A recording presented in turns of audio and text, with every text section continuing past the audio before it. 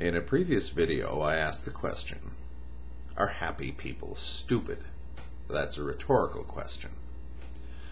Um, because uh, the assumption being, of course, if happy people are stupid because they are happy, or they're happy because they're stupid, then unstupidity would presumably be unhappiness. If they're only happy because they're stupid. If they were not stupid, they would be unhappy. Seems to work that way. Now, that got me thinking. Um, what would the color red look like to a blind person, or even to a colorblind person?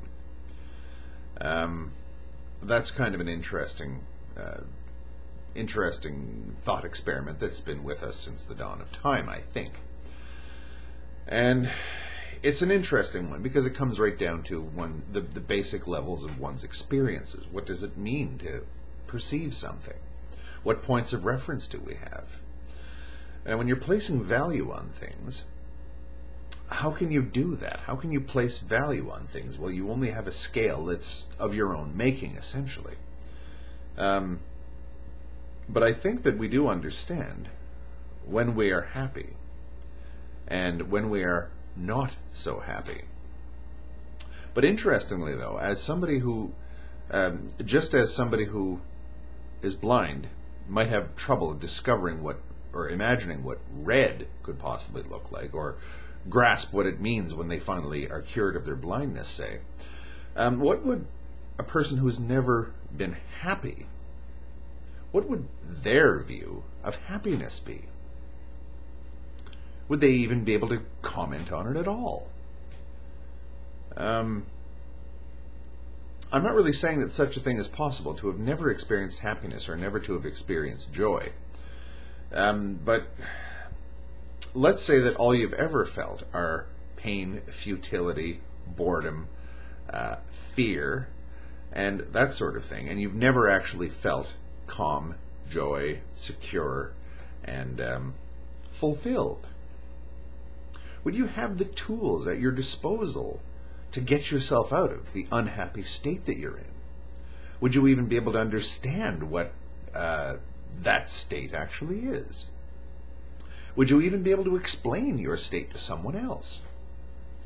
Would someone who is a happy person be able to explain their condition to you? Would it make any sense to you? I don't really think that we can actually solve this one, but it's an interesting one. Um, and I think that uh, it, the the implications of this sort of thing are kind of disturbing or or relieving, I suppose, in, in, in another sense, in that we really don't have anything to judge anything on but our own standards. But I'm willing to bet a nickel that we actually do have differences of experience, difference, differences in our experiences of value. That someone who is unhappy, or who is depressed, or who is um, otherwise feeling less than neutral about the world, understands that this is not a desirable situation to be in.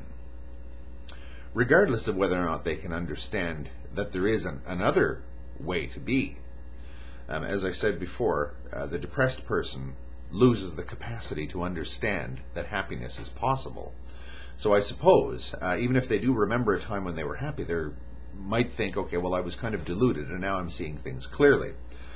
And um, going from the happy state to the unhappy was pretty a pretty nasty experience. Um, and conversely, going from the unhappy to the happy state can be a very nice experience. and I think that most of us fluctuate in between the two. But what if you've never experienced happiness? what would a universe like that look like? I'm not saying that, I'm not trying to imagine um, a fundamentally hellish universe. But what would it look like? What would the universe look like from the point of view of someone who has never been happy. And furthermore, if there is such a thing as compassion, what would one do if one came across such a person? in the interests of compassion, in the in- interest of mor- morality, altruism, ethics. It's an interesting and, as I say, somewhat disturbing question. Thank you.